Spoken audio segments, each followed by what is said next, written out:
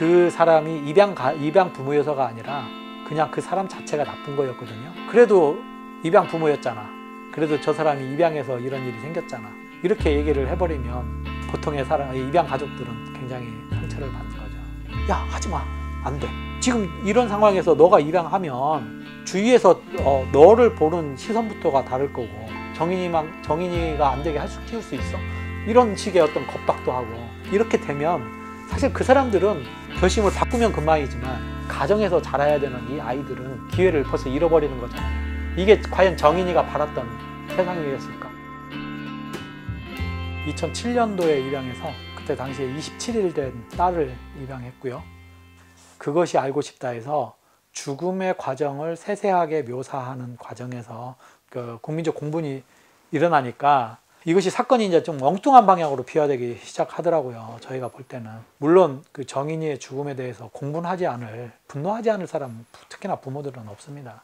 다만 그 대책이 그 사람들의 분노가 쏠리는 지점에다가 타격을 주고 그 분노의 감정들이 거기 쏟아지고 이런 방식으로 좀 진행이 되는 좀 과정을 보면서 좀 많이 좀 안타까웠습니다. 그 과정도 저는 그 문재인 대통령의 말씀이 70% 이상이 입양 얘기가 나옵니다.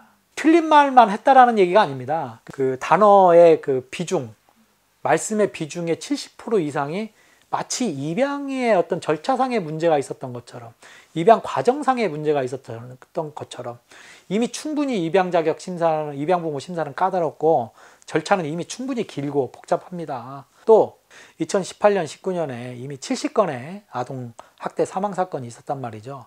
정인이뿐만 아니라 70명의 이미 정인이가 있었어요. 이 정인이 이전에. 정인이의 죽음도 비극적이지만 70명의 죽음도 다 똑같습니다. 죽음의 값은 다 똑같은 거란 얘기죠. 거의 대부분은 사실상 뭐냐면 친생부모에서 죽었거든요. 그래서 친생부모가 더 나쁘다라는 얘기를 하고 싶은 게 아닙니다. 그 다음에 재혼가정 부부가 더 나쁘다는 얘기를 하고 싶은 게 아닙니다. 누, 어떤 특정한 그, 이 부분을 강조해가지고, 그래서 이 사람들이 나쁘다라는 얘기를 하자라는 게 우리가 결코 해서는 안 될 모습이고 기본적으로 동양문화권은 입양에 대해서 절대 관대할 수가 없습니다. 기본적으로 이게 혈연 중심의 그 이 가족주의적인 사고가 DNA에 박혀 있기 때문에 굉장히 사실 어려운 문제인데 그래서 오히려 이 편견을 깨는 부분은 사실은 굉장히 어렵습니다. 편견을 조장하는 건 너무 쉽습니다. 아무리 입양 가족들이 저변에 깔려가지고 좋은 모습으로 살아가도 그 살아가는 모습을 자기 편견을 깨는데 사용하지 않아요. 하지만 그렇게 살아가는 100명의 사람들 중에서 딱 한 사람이 어떤 문제가 생겼으면 그것이 자기 편견을 고착화하고 더 그 뿌리 깊게 하는데 오히려 그게 더 쉽게 작용을 하는 이런 그 기본적인 구조적인 문제가 있거든요. 한국 사회가. 이번 정인이 사건도 역시 마찬가지입니다. 사실 그 사람이 입양 가, 입양 부모여서가 아니라 그냥 그 사람 자체가 나쁜 거였거든요. 어, 이런 것들이 이제 그 흔히 사람들이 생각할 때는 그래도 입양 부모였잖아. 그래도 저 사람이 입양해서 이런 일이 생겼잖아. 이렇게 얘기를 해버리면 나머지 이제 행복하게 혹은 어뭐썩 뭐 행복하진 않아도 어쨌든 평범하게 세상을 살아가는 보통의 사람 입양 가족들은 어 굉장히 상처를 받는 거죠. 그 이번 사건뿐만 아니고 입양이라는 이게 입양 가족 내에서의 사건이 있을 때마다 이게 굉장히 그 특징인 게 뭐냐면 어, 다른 사건들은 그냥 그 단신이나 혹은 한 며칠 이렇게 좀 떠들썩하다 끝나지만 입양 사건은 유독 오래 갑니다. 그 다음에 자극적으로 보도가 됩니다. 왜냐하면 입양이라는 단어 안에 들어가 있는 그 비극적 서사가 있거든요. 한국 사람, 한국 문화 속에서 가지고 있는. 그러니까 사람들의 심파를 자극하기에 너무 좋아요. 그러니까 언론이나 방송에서도 이것을 자기들 어떤 그 클릭수 혹은 자기들 조회수를 높이는데 너무 좋습니다. 그래서 요즘 나오는 그 이 사건 이후로 나오는 제목들 보면 정말 제가 볼 때는 정말 가관입니다. 입양이 사람들의 어떤 그 감정에 분노의 감정 혹은 사람들의 이런 그 언론의 어떤 이런 부분들로 저는 소비된다라고 저는 생각을 하고 있습니다. 제보 전화를 그 몇 통 계속 받았는데 지금 한국 사회에서 입양을 결심하기까지 어, 이게 굉장히 그 힘듭니다. 굉장히 많은 고민과 번민과 두려움을 이겨내는 과정이 필요합니다.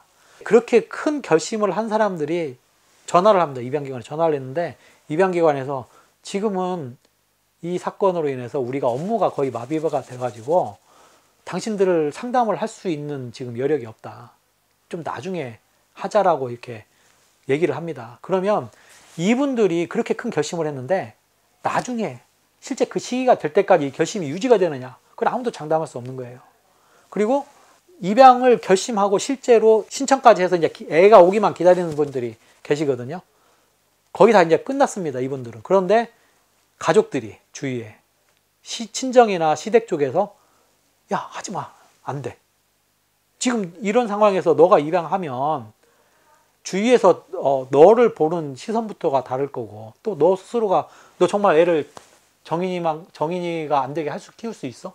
이런 식의 어떤 겁박도 하고 어, 실제로 이렇게 그런 상황이 벌어졌는데 결론은 뭐냐면 이렇게 되면 사실 그 사람들은 하다가 중단하면 그만이고 결심을 바꾸면 그만이지만 정말 입양이 가야 되는 반드시 입양을 가서 새로운 엄마 아빠 만나서 가정에서 자라야 되는 이 아이들은 기회를 벌써 잃어버리는 거잖아요.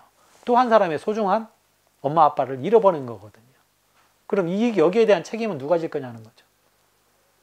이게 과연 정인이가 바랐던 세상이었을까라는 반문을 우리는 지금 해봐야 되는 시점이라는 겁니다. 지금은 이미 그 20여 년 동안 입양 가족들은 많이 단련이 됐어요. 그래서 어지간한 상처에는 상처도 안 받고 흔들리지 않습니다. 저는 지금도 심지어는 딸을 입양한 지 14년이 됐어요. 제 주위에 있는 사람들은 다 제가 딸을 입양한 입양 부모라는 거 알고 있습니다. 그럼에도 불구하고 지금도 뭐라고 하냐면 너는 참 대단한 사람이야 이런 얘기를 합니다 저한테 아니 자, 내가 내 새끼 키우는데 뭐가 대단해 내가, 내가 내 새끼 키우는 부분은 다 대단한 거예요 제가 입양 부모라서 특별히 대단하다 대단한 게 아니고 그래서 입양 가족들은 어, 더 많이 단련이 돼서 상처를 안 받겠지만 그래도 사람인지라 어, 중간중간 혹은 순간순간 흔들리고 상처를 받거든요. 그럴 때는 또 그 사랑하는 부모님, 사랑하는 가족이 언제든지 지금까지처럼 항상 무슨 일이 있어도 어떤 상황이 생겨도 항상 옆에서 있을 거다라는 든든하게 네 뒤에 누군가는 반드시 있을 거다라는 그런 믿음을 가져줬으면 좋겠습니다.